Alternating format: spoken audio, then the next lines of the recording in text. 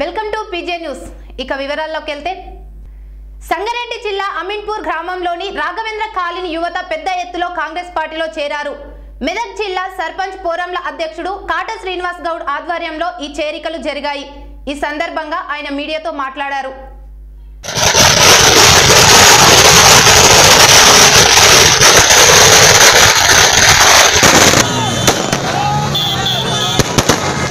Colony కాలనీలో మరి ఈరోజు లక్ష్మణ్ ఈరోజు ఈ యొక్క కాంగ్రెస్ పార్టీ తీర్థం పుచ్చుకోవడం జరిగింది.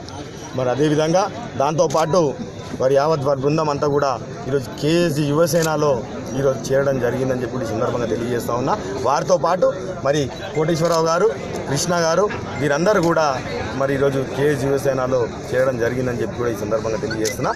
వారికి ఈ స- ఈ సందర్భంగా మా కేఎస్ యువసేన తరఫు నుంచి వారు అందిస్తూ వారందరిని కూడా స్వాగతిస్తున్నామని చెప్పి కూడా ఈ సందర్భంగా తెలియజేస్తా ఉన్నాం. అదేవిధంగా మరి ఈ యొక్క కేజీ యువసేన మరి ఈరోజు ఈ ప్రాంతం అంతా కూడా ఈ నియోజకవర్గం అంతా కూడా మరి అన్ని చోట్ల కూడా ఒక స్వచ్ఛంద కార్య కార్యక్రమాలతో ప్రజల్లోకి వెళ్తున్నటువంటి ఈ యొక్క కేజీ యువసేన మరి తప్పకుండా ముందు ముందు కూడా రాజకీయ శక్తిగా కూడా ఎదిగి మరి రేపు రేపటి నాడు ప్రజలకు అండగా నిలబడుతుందని చెప్పి కూడా కేజీ యువసేన తరఫు నుంచి నేను అధ్యక్షునిగా మీ ద్వారా వారందరికీ కూడా తెలియజేస్తా ఉన్నా. మరి అదేవిధంగా మరి మనందరం కూడా చూస్తూ ఉన్నాం. ఈరోజు ఆ రోజు జరిగినటువంటి పరిణామాలు ఆ రోజు ఈరోజు జరుగుతున్నటువంటి పరిణామాలు మరి ఈరోజు ఈ యొక్క ప్రభుత్వం మొత్తం కూడా అరాజకానికి దౌర్జన్యానికి ఈ రాష్ట్రంలో ఏదన్నా జరుగుతుందంటే అరాజకం తాండవిస్తుంది తప్ప ఇంకోటి లేదు అని చెప్పి కూడా ఈ సందర్భంగా తెలియజేస్తా ఉన్నాం.